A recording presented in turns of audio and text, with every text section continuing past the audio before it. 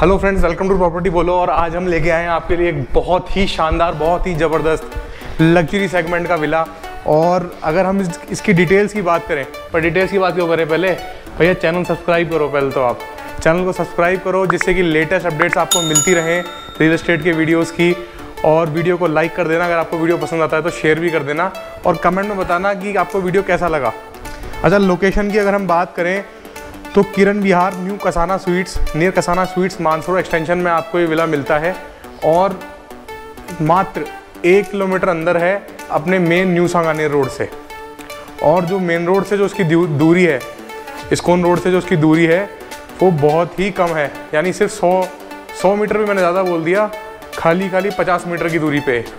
जो है main road से इसकी जो दूरी है, वो पचास मीटर है। और न्यू सांगाने रोड से जो दूरी है इसकी, वो मात्र एक किलोमीटर की दूरी पे है ये। बहुत अच्छी लोकेशन है, बहुत बढ़िया लोकेशन है। यहाँ पे मिलते हैं आपको चार बेडरूम्स हाँ जी, चार बेडरूम्स आपको यहाँ पे मिलते हैं और पाँच वॉशरूम्स आपको यहाँ पे मिलते हैं। और जो बेडरूम्स हैं, उनकी साइज़ भी बहुत बढ़िया है। 10 बाई 15 अप्रॉक्सीमेटली इनकी साइजेस हैं बेडरूम्स की। और सबसे अच्छी बात, जो डायमेंशन है, वो प्लॉट का वो आपको बहुत पसंद आएगा। 15.6 पॉइंट सिक्स इंटू यानी 102 गज के अंदर जो है, ये आपको जो विला है ये आपको मिलता है। फ्रंट जो है, साढ़े पंद्रह से ज़्यादा गज का जो फ्रंट है, वो बहुत अच्छा लुक इसको देता है। ईस्ट फेसिंग है, यानी सूर्य उगेगा तो आपके ऊपर जो है पॉजिटिव किरणें फेंकेगा। जेडी अप्रूव्ड ये प्रॉपर्टी है लोनेबल है। फुली फर्निश कंडीशन में आपको ये मिल जाती है। सेमी फर्निश कंडीशन में भी आप इसको ले सकते हैं। और जो प्राइस की डिटेल है, वो हम वीडियो में आगे बताएँगे। अभी बता दी तो आप वीडियो पूरा देखोगे। ठीक है तो वीडियो को आप आगे देखिए। तब तक के लिए आप करिए क्विक टूर और बात करते हैं फिर प्राइस के बारे में।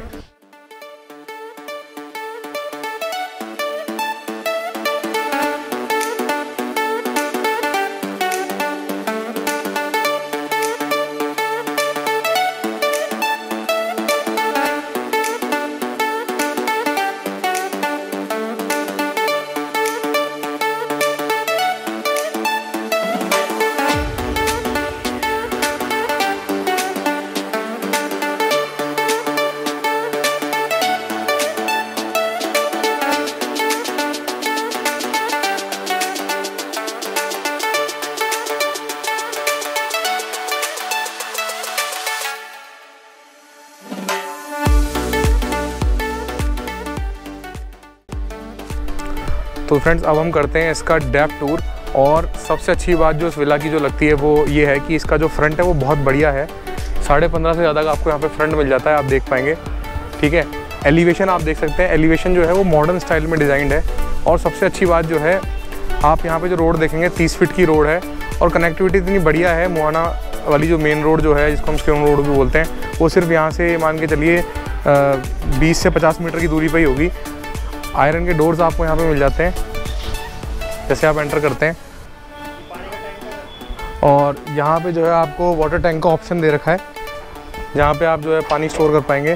पाँच हज़ार, सात हज़ार लीटर तक का आपको टैंक मिल जाता है। और पार्किंग स्पेस की अगर हम बात करें तो काफ़ी अच्छी स्पेस आपको मिल जाती है।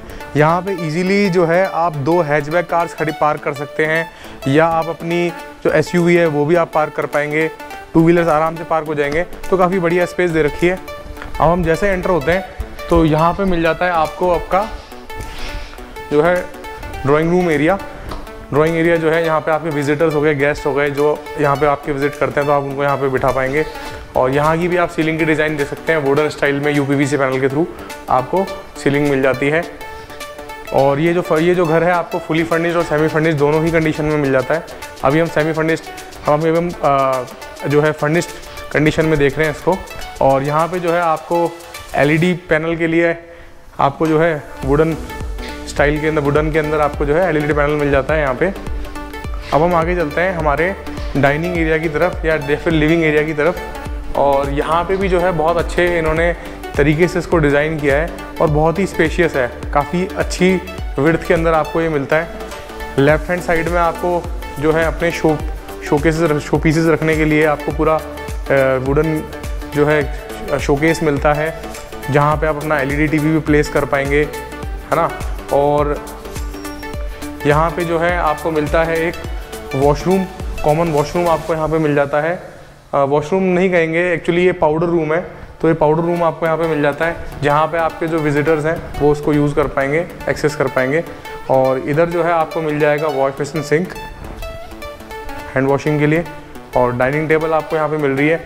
अब चलते हैं हम किचन एरिया की तरफ़, और जहाँ तक मुझे लगता है जो लेडीज़ हैं, उनको काफ़ी पसंद आएगी जो किचन है। किचन की साइज़ बहुत ही एडिकुएट है, बहुत सही है। जितनी विड चाहिए होती है मॉडलर किचन आपको मिलती है। और काफ़ी सारे रैक्स दे रखे हैं यहाँ पे। ज़्यादातर मैंने देखा है कि रैक्स जो हैं कम मिलते हैं तो स्टोरेज ऑप्शंस कम हो जाते हैं। बट यहाँ आप देखेंगे, बहुत सारे रैक्स हैं, बहुत सारे स्टोरेज ऑप्शंस हैं। तो आप इजीली जो है, अपना काफ़ी सारा सामान स्टोर कर पाएँगे। चिमनी आपको मिल जाती है मॉडर्न स्टाइल में कैफ की। कैफ ब्रांड की। और वेंटिलेशन के लिए आपको एक जो है विंडो कटआउट यहाँ पे दे रखा है। सॉफ्ट क्लोजर कैबिनेट्स आपको यहाँ दे रखे हैं। उसके अंदर भी जो है आपको पार्टीशन दे रखे हैं। तो आप इजीली जो है अपना सामान जो है वो स्टोर कर पाएँगे। आप देख सकते हैं यहाँ पे। और दो सिंक आपको यहाँ पे मिल जाते हैं। फिटिंग जो है वो जेगवार की आपको मिलती है क्योंकि एक बहुत बढ़िया जो है ब्रांड है फिटिंग्स के अंदर अपने। सब तरह के लिए रैक्स आपको यहाँ मिल रहे हैं, है ना? आगे चलते हैं हम अपने फ़र्स्ट बेडरूम की तरफ़। अच्छा फ्लोरिंग की बात करें तो फ्लोरिंग में जो टाइल्स हैं, वो भी अच्छी साइज़ में हैं और वर्टिफाइड टाइल्स आपको यहाँ पे मिल जाती हैं। यहाँ पे हम आ जाते हैं हमारे फ़र्स्ट बेडरूम की तरफ़। फ़र्स्ट बेडरूम का इंटीरियर भी बहुत ही बढ़िया तरीके से डिज़ाइंड है। सीलिंग डिज़ाइन आप देख सकते हैं। एक बहुत ही बढ़िया डिज़ाइन आपको यहाँ पे मिल जाती है। और वुडन टच के अंदर जो है इन्होंने टाइल्स को दिया है यहाँ पे। वुडन स्टाइल टाइल्स आपको यहाँ पे मिलती हैं। वॉलपेपर का इन्होंने अच्छा यूज़ किया है। फोकस एल एलईडीज़ यहाँ पे लगा रखी है। जिससे कि आप बुक रीडिंग करना चाहें तो बुक रीडिंग कर सकते हैं। और अपना जो ड्रेसिंग एरिया है वो भी एक बड़ा अहम रोल प्ले करता है। तो जो आपको वार्ड्रोब कुछ यहाँ पे इस तरीके से मिल जाते हैं। यहाँ आप जो है इसको अपना ड्रेसिंग एरिया भी बना पाएँगे और वॉशरूम जो है कुछ तरीके से वॉशरूम दे रखा है। काफ़ी अच्छी स्पेस है वॉशरूम में भी, बढ़िया स्पेस दे रखी है। और कलर कॉम्बिनेशन बहुत अच्छे यूज़ किए हैं। अब हम चलते हैं हमारी बैक लॉबी की तरफ़ और देखते हैं पीछे लॉबी में आपको क्या क्या चीज़ें मिल जाती है कितनी साइज़ में मिलती है। कुछ इस तरीके से जो है आपको बैक लॉबी मिल रही है यहाँ पे।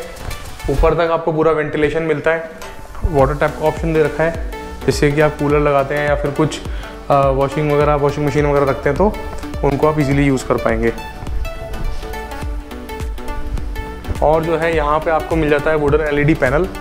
कुछ इस तरीके से। यहाँ पे आप अपना एलईडी जो है प्लेस कर पाएँगे। और अब हम चलते हैं हमारे फ़र्स्ट फ्लोर की तरफ़। और फ़र्स्ट फ्लोर के ऊपर भी एक जो फ्लोर है आपको मिलता है, वो हाफ़ बना हुआ है। ठीक है? और स्टेयर्स में जो है आपको ग्रेनाइट मिलता है और साथ ही साथ जो है आपको लाइट्स मिल जाती हैं, जिससे कि जो है रात को जब आप चढ़ते हैं तो वो जो है आपको इजी इजी रहेगा। और अब हम आ चुके हैं हमारे फ़र्स्ट फ्लोर के लिविंग एरिया की तरफ़। यहाँ पे भी जो है आपको पूरा जो फर्नीचर आप देख रहे हैं, यहाँ पे सब चीज़ें मिलती हैं। सोफ़ा हो गया, यहाँ पे आप सोफ़ा जो है वो आपको मिल जाएगा। वॉलपेपर का इन्होंने बहुत बढ़िया यूज़ किया है। एसी के सभी पॉइंट्स बेडरूम में आपको दे रखे हैं। यहाँ भी आपको मिल जाता है। अब हम चलते हैं हमारे जो है सेकेंड बेडरूम की तरफ़। सेकेंड बेडरूम का इंटीरियर जो है कुछ इस तरीके से है। आप देख सकते हैं। वॉलपेपर का यूज़ किया हुआ है।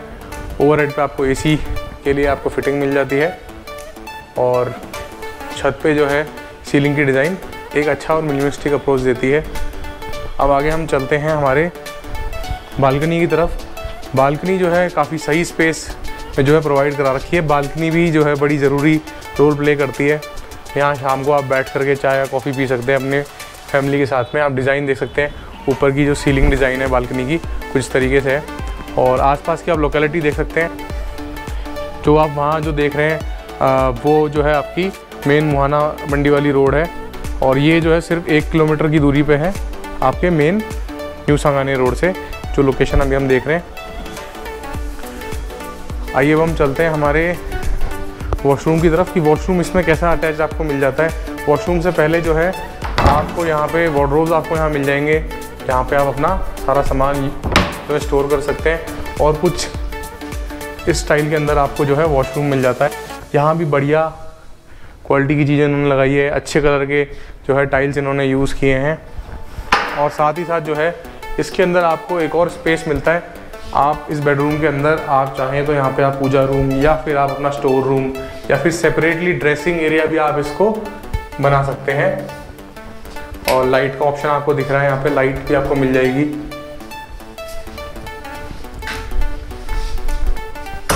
अब हम चलते हैं हमारे थर्ड बेडरूम की तरफ़। थर्ड बेडरूम में आप जैसे एंटर करेंगे तो यहाँ जो है पीछे की तरफ़ आपको मिल जाएगी एक ड्रेसिंग टेबल और थर्ड बेडरूम का इंटीरियर जो है आपको इस तरीके से दिया गया है यहाँ पे। बहुत ही बढ़िया फोकस एलईडीज़ के साथ में। सीलिंग डिज़ाइन आप देख सकते हैं। फ्लोर पे आपको वुडन स्टाइल टाइल्स मिल जाती हैं। एलईडी भी आपका इजीली प्लेस हो जाएगा यहाँ पे वुडन एलईडी पैनल के ऊपर। और यहाँ पे भी जो है आपको वुडन वार्ड्रोब दिए हुए हैं। तो जो है आपकी वाइफ को या फिर लेडीज़ को कोई शिकायत नहीं होने वाली है। सामान स्टोर करने की कोई प्रॉब्लम नहीं आएगी। और यहाँ भी जो है आपको वॉशरूम अटैच मिल जाता है कुछ तरीके से। काफ़ी अच्छी स्पेस के अंदर ओवरहेड शावर आपको यहाँ पे मिल रहा है। बहुत ही बढ़िया सैनिटरी वेयर इन्होंने यूज़ किए हैं।